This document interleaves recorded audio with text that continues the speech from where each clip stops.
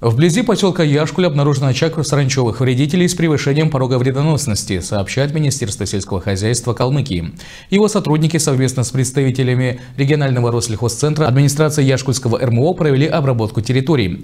В истребительных мероприятиях приняли участие свыше 30 человек, было задействовано 3 единицы техники и порядка 30 ранцевых опрыскивателей. Азиатская саранча прибыла с сопредельных с Калмыкии территорий. Очаг в поселке Яшкуль частично локализован. Сельскохозяйственные угодья не пострадали. Мониторинг мониторинг и обработка вредителей продолжается.